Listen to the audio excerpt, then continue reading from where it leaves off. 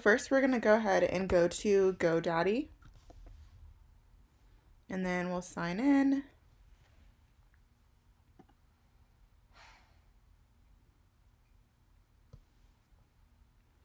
Okay, and then you're going to pick the one or the domain that you want to work with. And then we'll go down until we see Manage DNS. And then for the most part, you really don't have to mess with anything up here. It's just going to be this part right here in the forwarding. So you'll edit it, and then uh, you'll want to see the real link to it. So this is ours right here. And then as you can see right here, this is what we're really going to pay attention to. It's the HTTPS. So we'll go back to the domain and make sure it's scheduled or put on the right one because as you can see, this top one doesn't have the S. So you want to make sure that you select the correct one so that it'll work. And then you're just going to go ahead and paste in the link.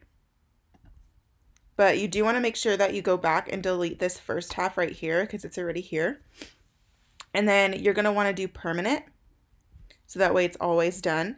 And then for the setting, for the settings right here, um, forward only means that whenever you type in the bookwithjack.com, it'll still pop up with this link. But if you want it to be masked, that, that means when you put in bookwithjack.com, it'll still hide this, and the only link that you'll see is the bookwithjack.com. So I like the forward with masking.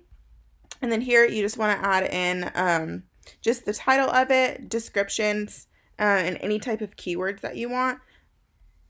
This really isn't too, too important, but they do require it, so I would just add in whatever you want in here. And then you'll just hit save.